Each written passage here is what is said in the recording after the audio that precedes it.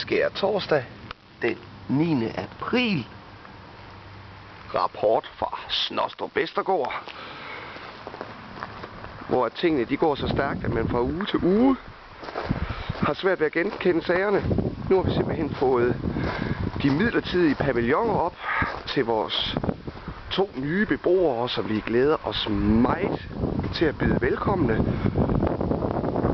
Ja, så her de skal slå deres folder lige i starten. Indtil vores nye byggeri kommer til at stå færdig herover. Hvad vi håber engang sådan sent efterår at kunne flytte ind i. I hvert fald før jul, om alt går vel. Og om en god uges tid, fredag den 17. april, så har vi som en rejsegilde. Man må jo også sige, at det begynder miskendeligt at minde ret så meget om et hus. Lad os lige prøve at se lidt nærmere på det.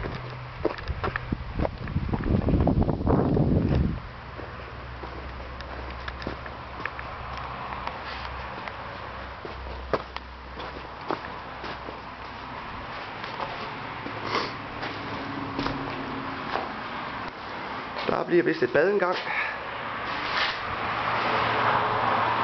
Og når de der dynger kommer væk, så bliver der altså god udsigt over markerne. Det er første klasses det her. Ud på fællesgangen.